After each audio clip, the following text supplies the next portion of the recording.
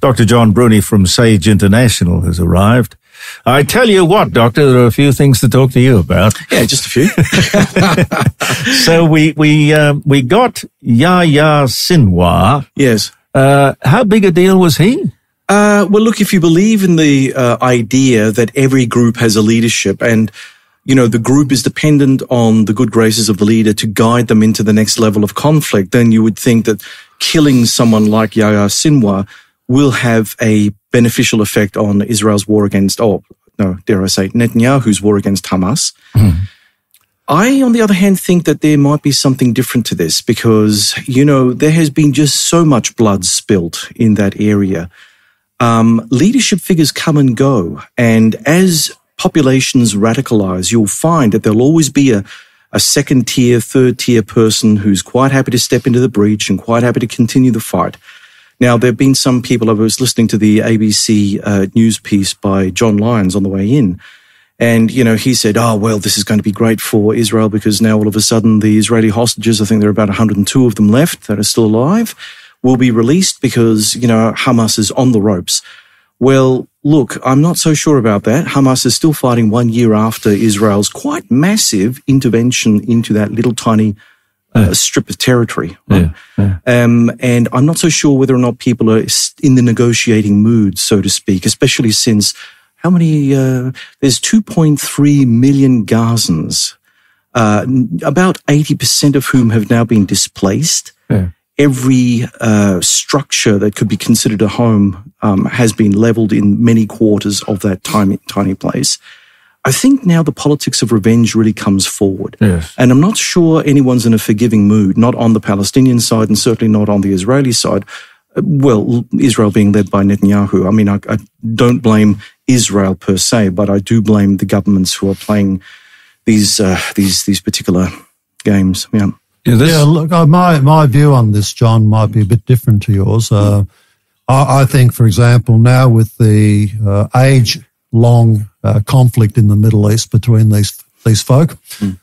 this is Israel's once in a generation opportunity to do something quite serious. And uh, their ability to be surgical mm. with taking out some of these leadership figures has been quite extraordinary in this sort of modern warfare uh, scenario. And this this is the guy who's been taken out who used the so-called human shields all the time. So he's not a, he's not a good guy in any stretch of the imagination, but he's he's used human shields.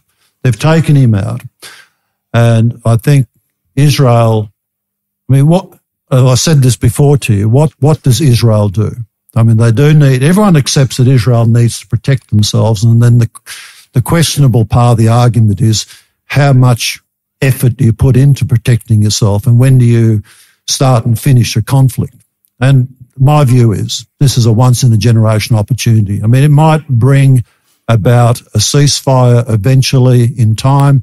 It will probably rage again because that's just the nature of the beast over there. They're, they're conflict orientated, these people. So you think, I, I, well, from what I gather, you know, this whole mowing of the lawn around Israel's periphery seems to be a periodic event. Mm. If that's the case, then there will be no uh, decisive victory for Netanyahu in this struggle. I think that yes, he may be able to take out the Hezbollah leadership, but let's be blunt about it. Hezbollah is still fighting.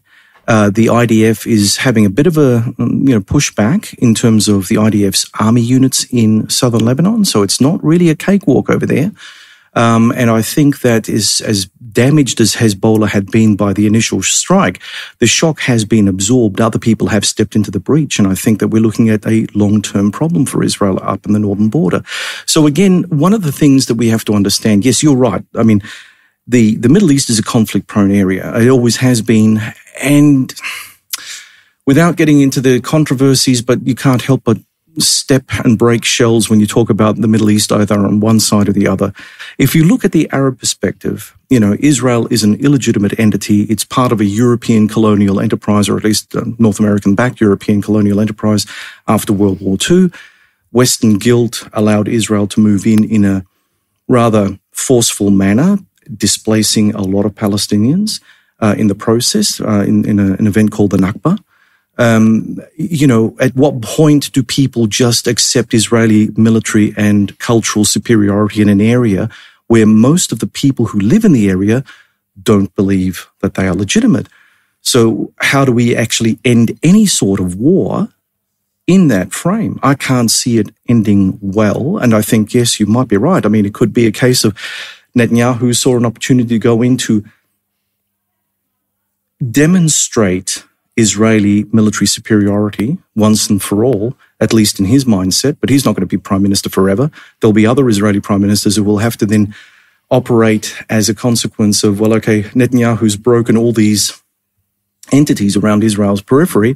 Now it's my turn to actually do something about it. So the war will continue just in a different guise. It won't be Netanyahu at the, at Israel's helm. It'll be someone else. And it won't be a blessing. It'll be a curse on the Israelis because you know, Israel is a small country and its military forces, while very powerful and their intelligence services are, you know, first rate, no one puts any question on that. But it's a small country. And how can they use generation of generation of Israelis on a periodic war mobilization footing? I mean, obviously, part of the Israeli society is going to have to suffer. And I would argue that the economy is currently suffering mm. in Israel. What about the casualties? To this point, how many people would you think that uh, each side has lost?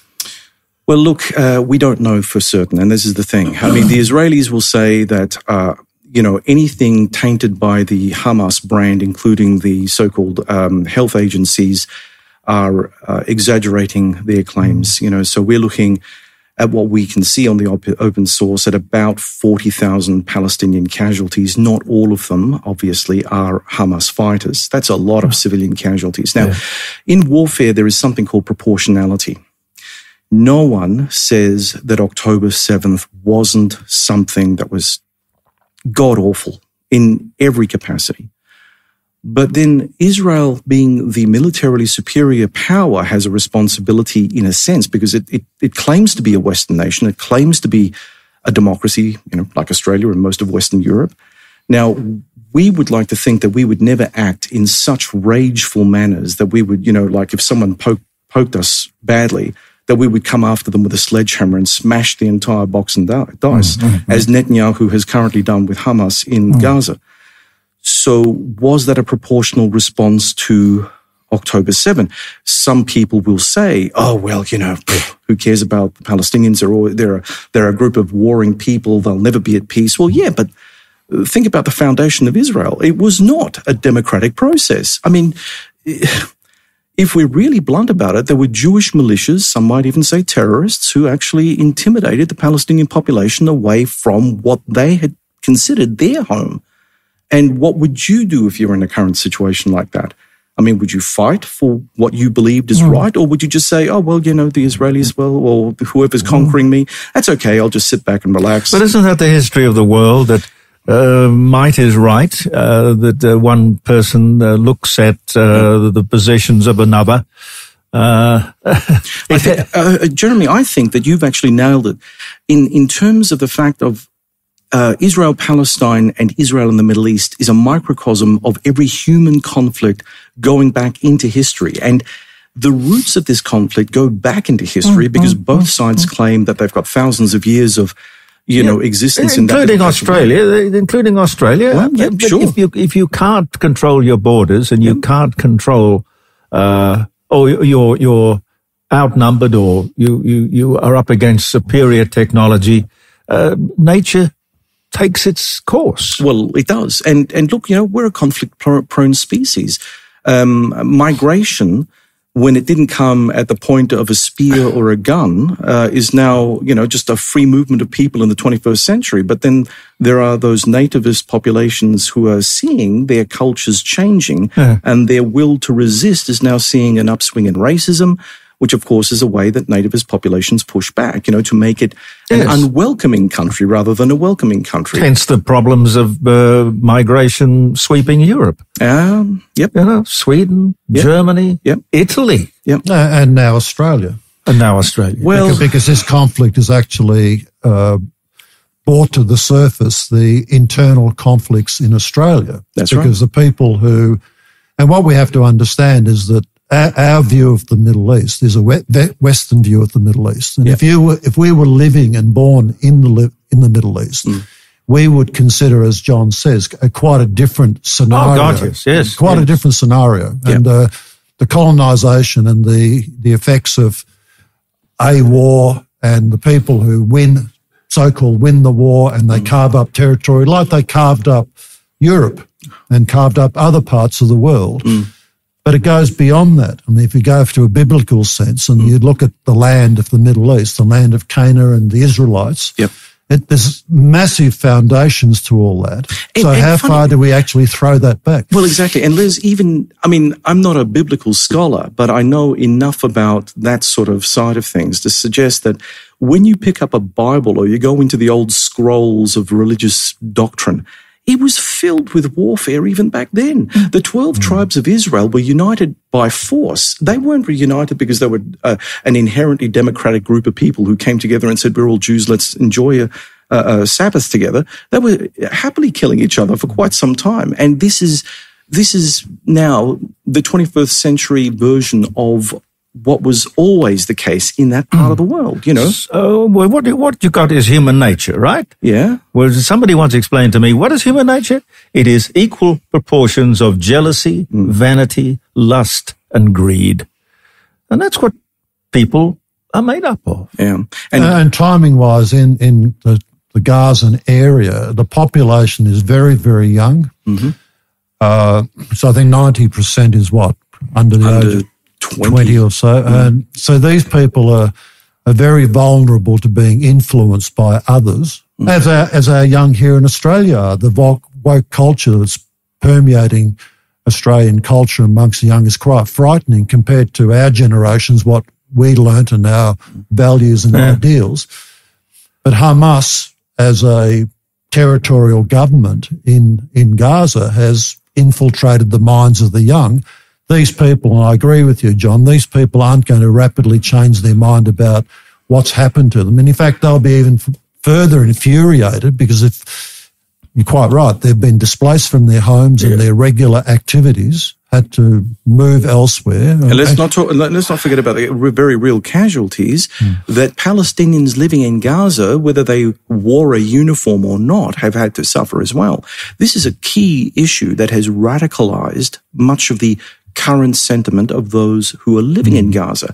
You kill mother, father, brother, cousin, because, mm. you know, you're in the IDF and really for you as a proud Israeli nationalist, Palestinians really don't exist. They're just things on a board, a chessboard, you know, that can be knocked over, that can be removed, but you don't have any vested interest in caring for your enemy or the enemy population. You just see them as a block of hostile actors. There are no prisoners of war, I gather. There are no prison camps. Usually the, the oh, there, consequence. There, there, there, are, there are detainees. And I want to actually uh, raise something that I saw yesterday, which I found extremely disturbing. You know, the way that the Western media actually reports the war is, as Les rightly pointed out, I mean, we look at things from a particularly Western perspective and we rope Israel into that camp. We're quite proud yeah. of the fact that they're a Western democracy. And yet, because of the way that we look at the war, we take out or edit um, the narrative. Mm. You were talking about um, human shields, right? There have been footage which has been released on YouTube of Israeli soldiers using Hamas detainees, unarmed, stripped down to their underwear, as human shields as they went into areas where they thought Hamas fighters were still having their thing. So if this, if, if the Hamas fighter in front of the Israeli soldier got hit, well, that saves an Israeli soldier's life if that isn't what I would say a human shield is all about, you know, yeah, I mean, yeah. it cuts both ways. Literally here. and figuratively. But, but, you know, the Western media don't want to give anything other than a positive account of what Netanyahu's doing. And so that bad news story, which eventually will trickle out, but oh, it's yes. already starting to come out from various sources. Eh, can I can I move along to a couple of other things because sure. uh, there's a bit of territory to cover, as I said at the beginning. Mm. I heard this morning, I couldn't believe. You know, you you you and I were there at the beginning when all of the hand wringing was going on about the submarines. Mm-hmm. And there was the French, and the, we, yep. we, I remember that uh, at the convention center, I Correct. think it was, and yes. there was uh, there were representatives of the uh, Jap- of Japanese industry and the Japanese Navy and uh, France and uh, I don't know if uh, Germany. Germany, yeah, yeah. Um, um, searching. I mean, it was the most uh, uh, forensic examination of the possibilities and opportunities there. Correct. And when we came up with the French alternative, uh, uh, how much did it cost us to get out of that? Oh God, um, I know it was a high number. I'm. It was hundreds of millions of dollars. It was hundreds of millions of dollars. Just how much exactly, I can't tell you off the top of my head. But it was, it was a, a, a you would say it was a controversial figure um, for most yeah, yeah, Australian yeah, yeah. taxpayers. And right? now I hear this morning Yeah. that they are seriously considering scrapping the, the, the current deal with the Americans. Mm. Where did that come from? Uh, that I don't know anything about, Jeremy. I'm going to have to pick up the paper and find out. Yeah, they they they are saying that the uh, ideal solution would be that we Oh, will share American boats. The Americans will have their Yeah, yeah, uh, Virginia class submarines. We won't buy them. Yeah. No, no, no, no, no, no. We will uh, have. Uh, uh, $365 billion to play with. Yeah. Like they can walk out of this AUKUS contract without any damage. What, what, Eight 830 so million just under a billion dollars to get out of the contract with the French. Yeah, So what is it going to cost us to get out of this one with the United States? I think we'll have to sell our soul for the United States uh, for for a graceful exit. they will they will extract the last pound of flesh from us. But why would we do it? What? Uh, he, no, look, look, Trump will not support this because American shipbuilding is going through a reforming process. And of course, jobs in America are just as important for Americans as jobs for Australians are for Australian governments.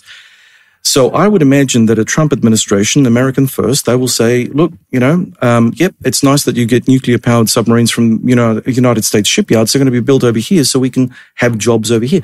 The thing that you have to understand is that with the American system, it's very much predicated on a similar kind of structure here. It's all about pork, finding the pork barreling effect in various state constituencies. Where you can hmm. get the most hmm. votes from, you go after those votes with a lucrative defense contract and say, hey, we've got defense jobs over here. That has got nothing to do with the strategic importance of buying a piece of kit, hmm. but it's got everything to do with the economy and the perception of economic strength. Hello? Hello, Jeremy. Good Yes. morning. John, we're talking submarines. What would you like to talk about? Hello. Heaps. I, I know you don't have a computer, so you can't hear the program. Sex, drugs, No. rock and roll. who's, who- who's with you, Les? Uh, I'm- I'm Les here. is with me, and Dr. John Bruni is with me. Okay. Good morning, Dr. John Bruni. Good morning, Les. Good, morning, morning. John. Good to good to hear your voice. Yeah. I, um, a couple of things that sort of crossed my plate uh, this week. Uh, firstly, the ALP having all their uh, cabinet ministers. I'm talking the state here, and and having five members from the uh, federal parliament as well. Um, inviting those who have liberal businesses to come to have a, uh, a one-on-one chat or get involved in content. Five hundred dollars a plate. It's uh, not a bad sort of racket, is it? Who have they invited again? They've invited those people who uh, um, own businesses but are liberal orientated. So they were the Labor government wants Liberal supporters to come to dinner. Yeah, I'll be very careful about that. that, that's that's one issue, and then the Liberal Party can't get themselves together. I think uh, the issue with uh, Michelle Lensink here the other night, I reckon that was an absolute disgrace. Absolute. Well, I, I, well, I still don't understand what the debate is about. People have been debating this, the, the, the business of abortion for, for forever. Why do, well, the, the sensible thing is to say it's nothing to do with politicians. It's nothing to do with men. It's to do with a woman and her doctor. What do you guys think? Yeah, no, woman and a doctor. I, I believe that that is certainly an intrinsic right for, for women. I mean, it's after all their bodies and their future and the future of whatever they want to bring to, to term. I mean, you know, in the end, who are we to tell people what to do? The only thing that uh, I, I'm a little bit hesitant about is where are the medicos in all of this? You know, in the end, they're the ones that have to do the job and, and they must have a say in this and a very strong say in order to ensure that people understand exactly what is at stake in terms of, God, I hate to use this, the, the, the termination versus the time uh, the, the child or the, or the embryo or whatever. How has, mature the child How mature the child is. Excuse me. So, um, um, yeah, go on and the welfare of the of the lady concerned. Indeed, yeah, indeed. Yeah, there are a lot of there are a lot of um, extenuating circumstances here, which always fuels this area with controversy. But I think I would rather have informed medical opinion weigh in heavily on this issue because I think that if you just hand this issue of controversy over to people who either believe in the right of abortion or not, yeah, yeah. you're just you're pulling but, the country but, apart. But, but, the thing about it, to me, would have to be if, if the if the baby is almost to term, mm. almost full term, uh, that's not abortion. That's murder. Yeah. yeah look, yeah. Uh, my my view on this is uh, again, I'll say for what's worth. Um, telling people what they should do has been exemplified through the COVID period. We forced people to have a, an experimental vaccine, which is now causing many, many people severe health problems. So there's an issue that government got involved into a medical matter and the medicos were overruled essentially. A lot of prominent medicos were overruled and still being overruled. Um, but the argument about uh, abortion has been hijacked by the uh, comment that uh, the woman's body, yeah, my body, my body, my choice. Well, no, that's not the way the fundamental should be looked at. If if the woman is not pregnant, yes, my body, my choice. I agree with that 100%. But once the woman conceives and the embryo is viable and becomes human life, and this is where I agree with John, the question of when a human life is a viable uh, entity, um, I'm a pro-life person. I think that the moment there is viable life, whether it's in vitro or outside, whatever, um, I think there is a, a lawful position to take about whether or not that life should be preserved.